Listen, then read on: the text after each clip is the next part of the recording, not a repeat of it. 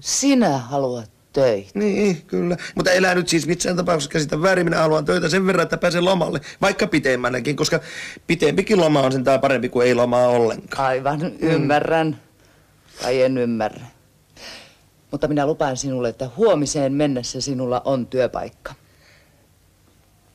Aa, ai, lupaat vai? Lupaan. Aha, mutta älä nyt kuitenkaan rupea hosumaan, koska yleensähän töihin mennään vasta kuu alussa ja huomenna on vasta 16. päivä.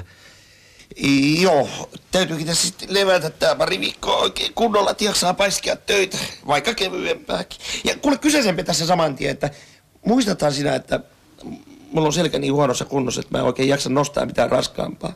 Enkä oikein kevyempää. Muistan, muistan. Hyvä. Ja kysynpä senkin vielä saman tien, että mitenköhän pitkä loma siinä työssä mahtaa olla? Ai missä työssä? No siinä, mihin mä oon menossa. En tiedä vielä. Se selviää neuvotteluissa. Hyvä, hyvä.